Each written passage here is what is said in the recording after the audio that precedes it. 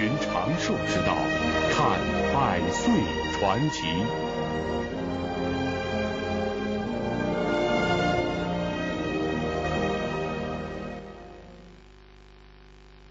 观众朋友，大家好！大家好！您现在收看的是《夕阳红》节目。今天啊，您将结识的这位百岁老人是久病成医的李少波爷爷啊。父母给他取名叫少波啊，其实呢是少波。嗯，希望他这一生啊顺顺当当的，少一些波折。可是谁想到李爷爷这辈子哈，那真的是一波未平一波又起。嗯，从小呢就命运多舛，疾病缠身。小时候李爷爷看自己病病歪歪的，他就觉得。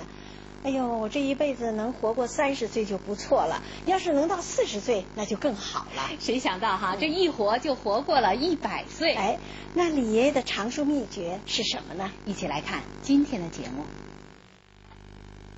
李少波从小就被疾病缠绕，他的目标是活到三十岁，最好是能够活到四十岁。然而，几次大病，甚至是不治之症，他都挺了过来。在治疗自己疾病的同时，他刻苦钻研医学知识，成为了一名医术高超的医生。他究竟用什么方法治好了自己的病？体质孱弱却长命百岁，他将告诉我们怎样的长寿秘诀呢？李少波出生在河北省安平县信家口村，作为长房长孙。一家人对他寄予厚望，祖父给孙子起名为少波，愿他此生少一些波折，多一些吉祥。可是，儿时的李少波却与同龄的孩子大不相同，小小年纪就显得心事重重，有时候整夜睡不着觉，胡思乱想，经常是梦着这些不好解决的问题。就是常常一夜一夜就不睡觉，大人们都为他担心，担心这孩子能够养得活吗？就算是活下来，他以后的日子又该怎么过呢？由于疾病的折磨，李少波常常会想，自己可能真的活不长，那就努力的活到三十岁吧，最好是能够活到四十岁。李少波的祖父是位饱学之士，有深厚的医学功底，经常免费为周围的人看病。他见孙子被疾病折磨的痛苦万分，而且吃药也没有什么明显的效果，于是他决定把自己平时练习的吐纳方法，也叫做呼吸养生法，传授给孙子。十岁那年，李少波的身体状况逐渐的好转。家人就把他送进了私塾。十六岁时，他离家到县立高校读书。没几年，李少波就长成了一个健壮的小伙子。高校毕业后，由于连年水灾、军阀混战，家境衰落，李少波不得不外出谋生。然而，这次离乡背井，又使李少波险些丧命。李少波二十岁那年，天津塘沽永利制碱厂正在社会上招工，他报了名。由于考试成绩较好，加上他气质儒雅、一表人才，被接收到工厂做工。但这里的环境实在是恶劣，捡面子扬起的细尘到处乱飞，呛人的气体直往嗓子眼里钻。而且分给他的工作是最苦最累的活儿。不久，李少波就得上了职业病——息肺。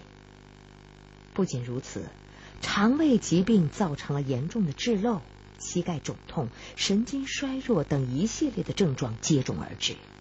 走路迈不开步，站也不成，是坐也不成，睡下起不来，起来睡不倒，浑身上下痛如刀割。眼看着人是一天天不行了，找中医，中医没办法，找西医，西医直摇头，没办法工作。李少波这又回到了家乡。祖父见到心爱的孙子变成了这样，心里不免咯噔一下。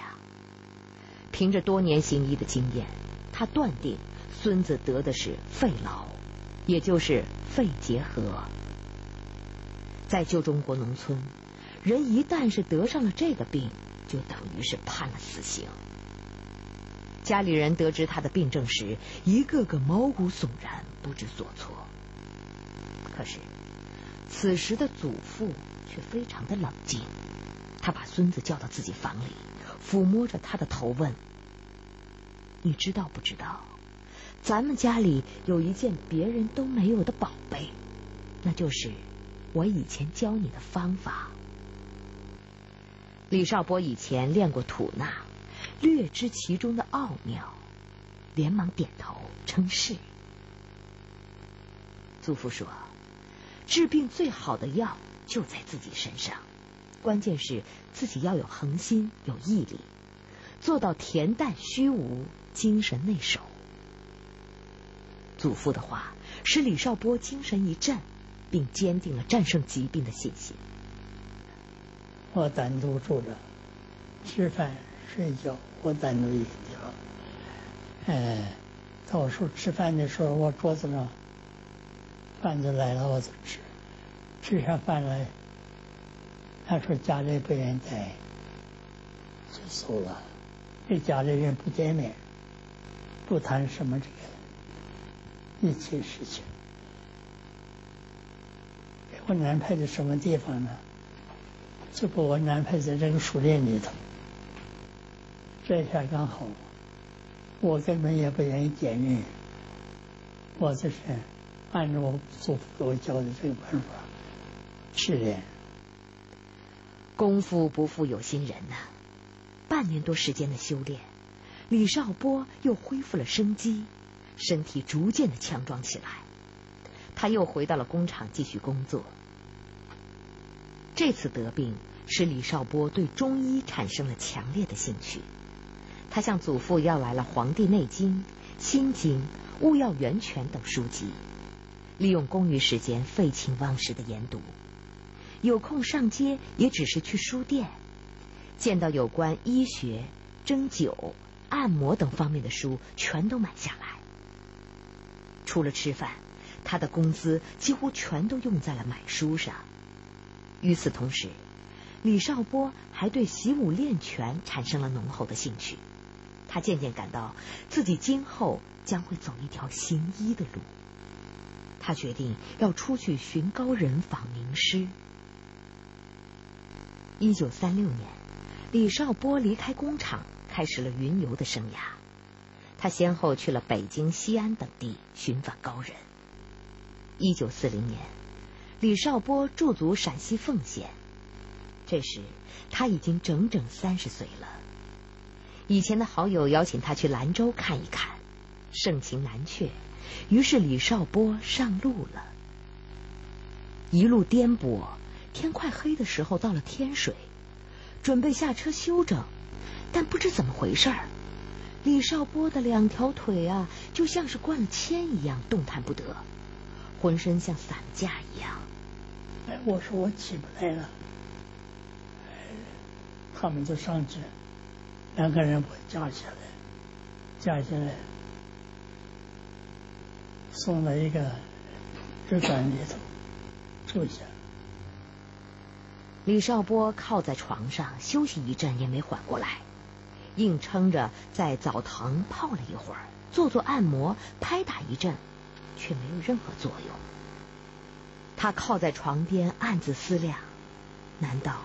自己就真的只能活到三十岁吗？难道自己真的就只有三十年的寿命吗？就在他一筹莫展的时候，他突然想起了祖父教给他的方法，于是他决定试一试。一开始腰腿疼痛的站不住，他只有先坐着，放松全身，凝神调息。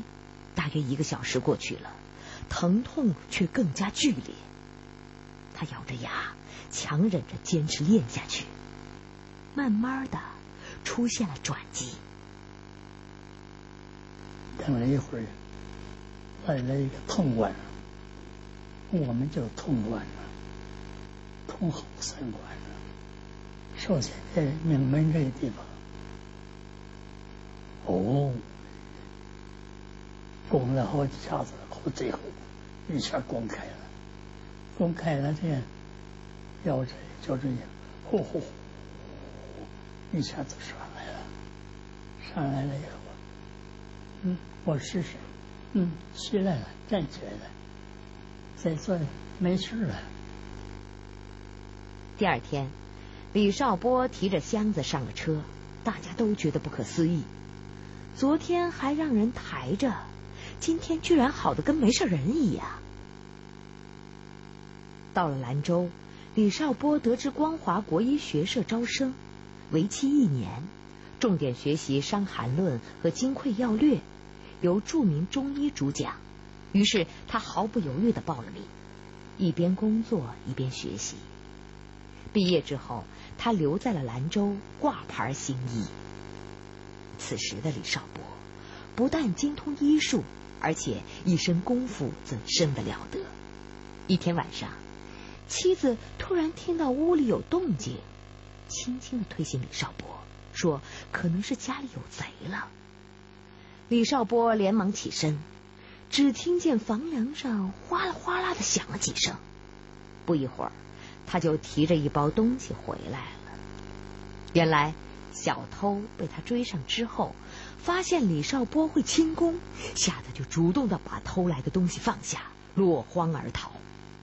就这样，李少波以良好的状态闯过了压在他心头的四十岁大关。以后啊，再有什么病，他都用祖父教给他的方法，一一都解决了。与此同时，他把这套方法归纳总结，提升到了一个新的高度，并形成了自己独特的理论。他自己也因此实现了健康长寿。然而，就在他九十八岁的时候，不小心摔了一跤，造成了脑出血，情况十分危险。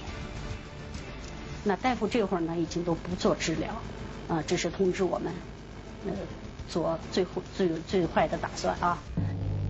女儿李天晓并没有放弃，但此时此刻，她能做的只有守在父亲身边，蘸上水为父亲湿润干涩的嘴唇。